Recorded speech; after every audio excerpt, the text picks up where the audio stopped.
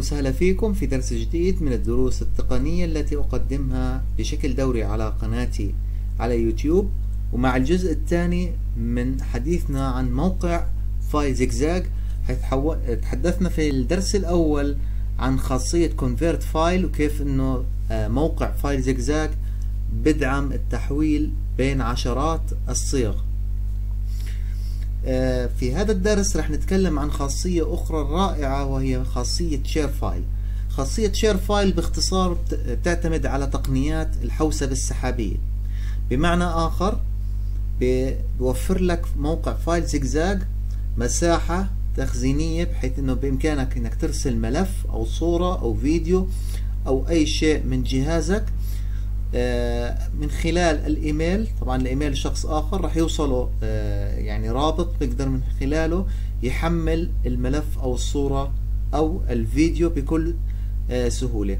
وبالتالي راح يوفر لك الموقع مساحة تخزينية يمكن الوصول إليها من أي جهاز. طبعا خلال الإيميل راح تدخله.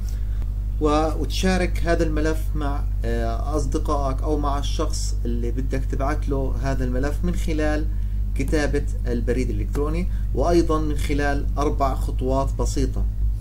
الخطوة الأولى راح تختار الملف الخطوة الثانية راح تكتب الإيميل اللي راح يستقبل آه، هذا الملف.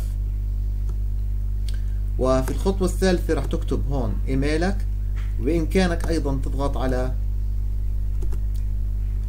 تضغط على more option more options وتحط عنوان للرسالة وتكتب رسالة توضح محتواها وبالنهاية بتقبس على زر شير فقط بهذه الخطوات البسيطة جدا والعملية جدا بإمكانك تشارك أي ملف مع أي شخص آخر من خلال كتابة بريدك الإلكتروني.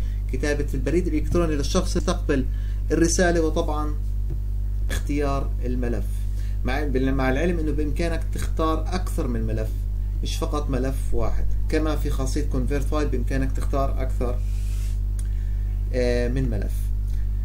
آه، أنا يعني من يعني حابب إني أذكركم بموضوع الحلقة السابقة عشان هيك راح تشوفوا هسه برومو للحلقة السابقة اللي تكلمنا فيها عن FileZigZag أهم النقاط اللي تكلمت فيها عن خاصية convert file فايل راح تشوفوها كمان شوي.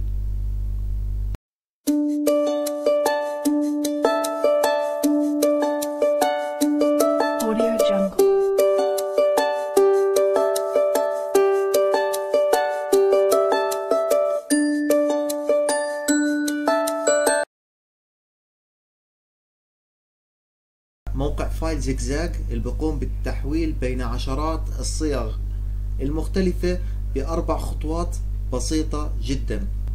أول خطوة هي أنك تختار الملف ثاني خطوة أنك تختار الصيغة ثالث خطوة تكتب الإيميل ورابع خطوة تضغط على زر convert. وفي الختام بتمنى إنه يكون الدرس قد نال إعجابكم في حال إنه اعجبكم لا تنسوا تضغطوا على زر like وتضغطوا على subscribe آه، للقناة.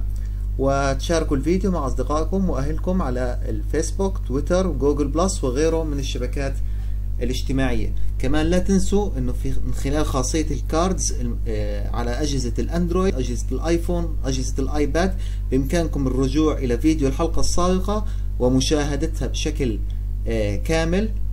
وأيضا يعني بتقدروا توصلوا للمقالة المفصلة آه، اللي كتب اللي كتبناها عن موقع FileZigZag أيضا من خاصية ال cards آه، في المتوفرة على أجهزة الآيفون والآيباد والأندرويد.